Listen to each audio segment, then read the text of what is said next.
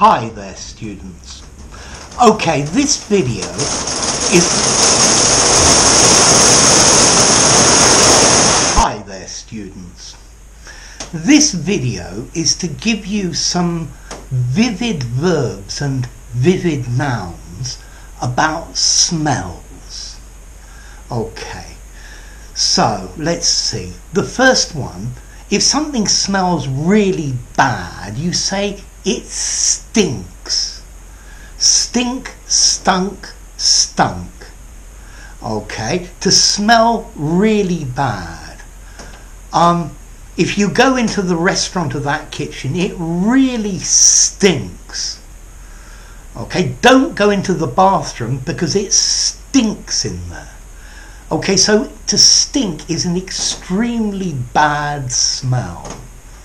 Stink is probably neutral or a little bit informal, so a great word for everyday conversation. Notice as well, you can have a stink. There was a stink of rotten fish. The next word or the next verb is to reek. Okay, so it really reeks of rotten fish.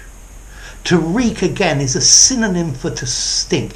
It smells really bad.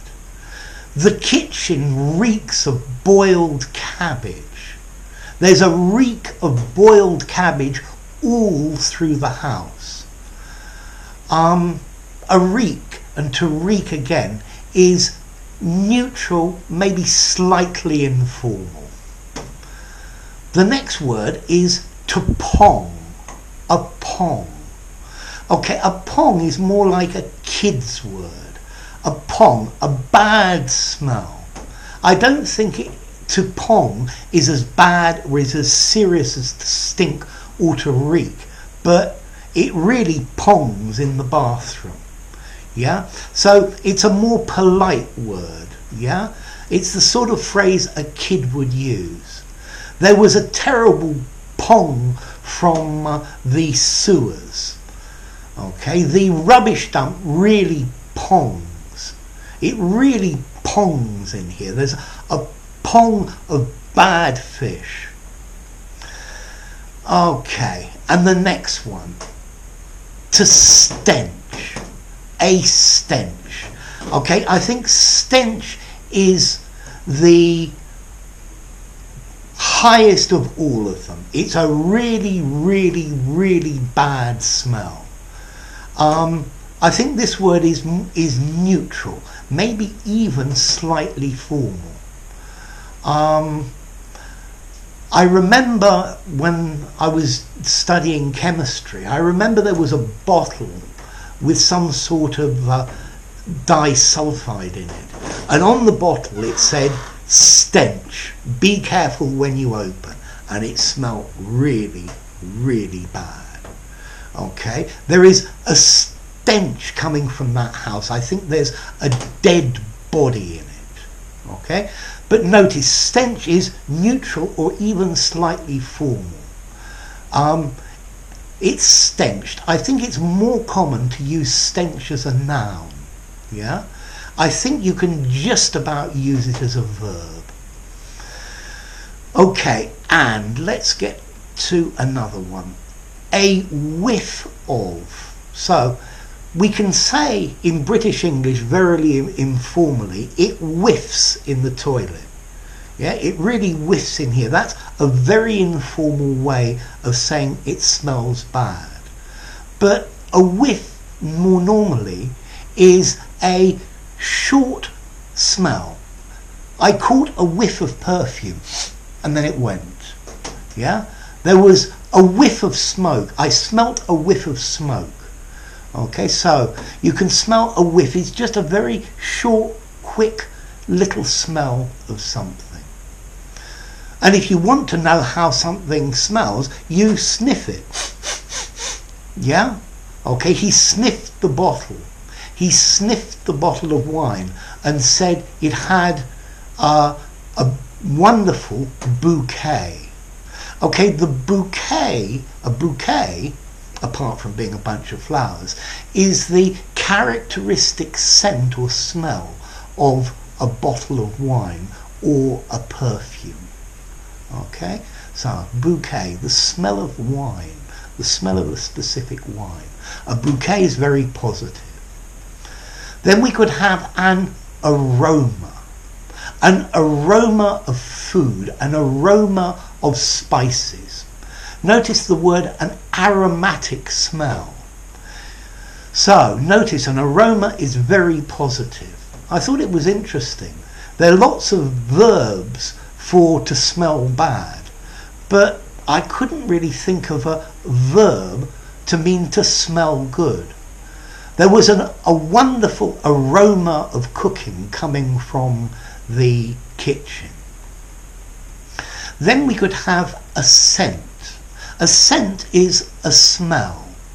Let's see, you could uh, buy a bottle of scent or a bottle of perfume for your girlfriend.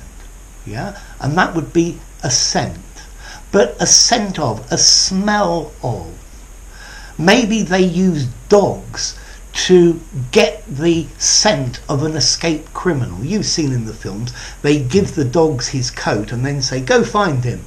Okay? And the dogs sniff to get the scent. Okay? So a scent is just a smell of. Yeah? We could even say the scent of cooking food came from the kitchen. A scent can either be positive or negative. There was a scent of boiled cabbage coming from the uh, school kitchen. And then a perfume. We can actually also use the verb to perfume. There's a positive one. Okay, a perfume is like a scent. You could buy a perfume for a lady. Okay, this is a very expensive bottle of Schiaparelli perfume. Okay, a perfume uh, the wonderful food perfumed the room, sent a nice smell all through the room to perfume. Yeah, or maybe he perfumed the room to get rid of the stench, or maybe he just put one smell over another. So here you have lots of vivid verbs and nouns to use instead of just smell. So to stink, to reek, to stench, to pong. Very bad smell.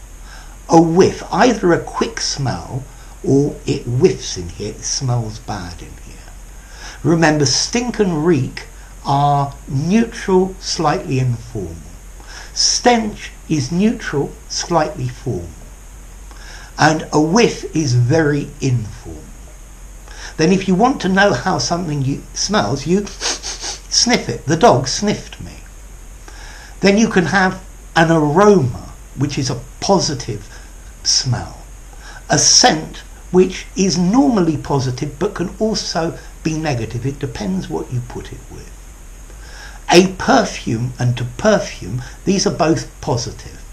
Ah, I was going to say, aroma is neutral, maybe slightly formal. To a scent is neutral. A perfume is neutral. To perfume as a verb, maybe neutral or slightly formal. And then remember, a wine or a perfume has a bouquet, a characteristic scent or smell. And bouquet, yeah, that's a slightly formal word. If you use it in the pub, you'll sound very posh. Okay? So there you go, a load of vivid verbs and nouns about smell.